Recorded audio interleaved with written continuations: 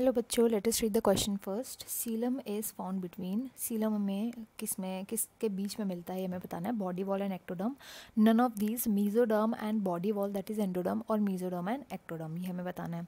तो यहाँ पर जो हम की कंसेप्ट स्टडी करेंगे की कंसेप्ट वो होगा सीलम सीलम सीलम होता क्या है? तो देखो, जो फ्लूड फिल्ड बॉडी कैविटी होती है ना फ्लूइड फ़ील्ड हमारी बॉडी के बीच में कैविटी होती है ऑफकोर्स सब ऑर्गेन्स वगैरह जो हैं, ये सब आपस में चिपके नहीं हुए थोड़ा थोड़ा गैप रह जाता है, उसी को हम बोलते हैं बॉडी कैविटी इस बॉडी कैविटी में फ्लूइड होता है भरा हुआ.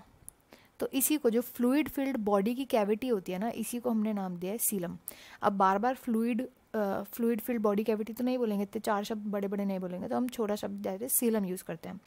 बट ये जो सीलम होता है ना, ये सब ऑर्गेनिजम्स में प्रेजेंट नहीं होता, बस एडवांस ऑर्गेनिज्म में प्रेजेंट होता है। जैसे कि हमारे अंदर प्रेजेंट है तो ये आर्थ्रोपॉड से लेकर के आर्थ्रोपॉड्स इनके पास भी प्रेजेंट है एनालिड्स के पास प्रेजेंट है एनालिड्स के पास प्रेजेंट है इससे लेकर के सारे जो एडवांस है दैट इज़ कॉर्डेट्स इनके पास भी प्रेजेंट है। बात आती है कि ये जो सीलम होती है, ये प्रेजेंट कहाँ पर होती है? तो देखो, हमारी जो मेन होती है, तीन वॉल्स होती है। सबसे पहले आती है एक्टोडम जो कि बॉडी की वॉल इसको बॉडी वॉल भी बोलते हैं। बॉडी वॉल एक्टोडम हो गई।